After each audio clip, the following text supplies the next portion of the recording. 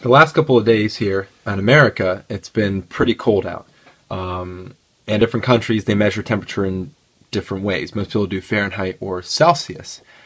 Well, there is at some point, though, that the degrees in Fahrenheit is equal to the degrees in Celsius. And I'll show you how you do that. So first, the formula to find Fahrenheit in terms of Celsius Fahrenheit degrees is equal to Celsius degrees times 9 fifths plus 32. And the formula to find Celsius in terms of Fahrenheit is Celsius degrees is equal to Fahrenheit degrees minus 32 times 5 ninths. Okay, that's great and all.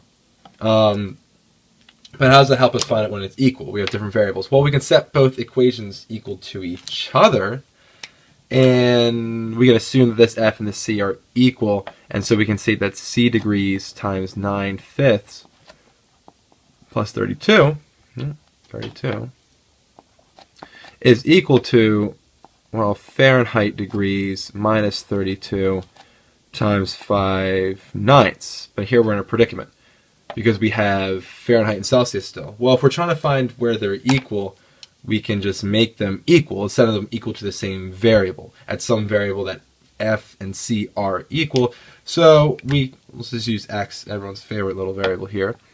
x times 9 fifths plus 32 is equal to x minus 32 times 5 ninths.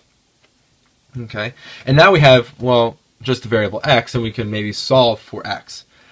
All right, well, x times 9 fifths is 9x over 5 plus 32 equals distribute that 5 ninths to both, both parts here. And so we have 5x over 9 minus 32 times 5 ninths will give us that 160 over 9. Okay. And now we can just solve for x, so let's subtract a 5 ninths x to both sides. We're getting small here. And I'll subtract a 32 to both sides. And we are left with now, oh, 9 fifths uh, minus 5 ninths. That simplifies, I did the math already. And that's 56 over 45. X equals, oh, negative 160 over 9 minus 32. That simplifies to be a good old fraction, 448 over 9. And so now at this point, if I want to get x by itself, well, we just multiply both sides by 45 over 56. And now we're left with, well, x equals, what's kind of cool, is this simplifies right out to be negative 40 degrees.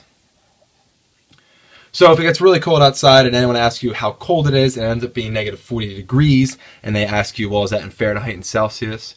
You can reply, you pick. Thank you for watching and have a great day.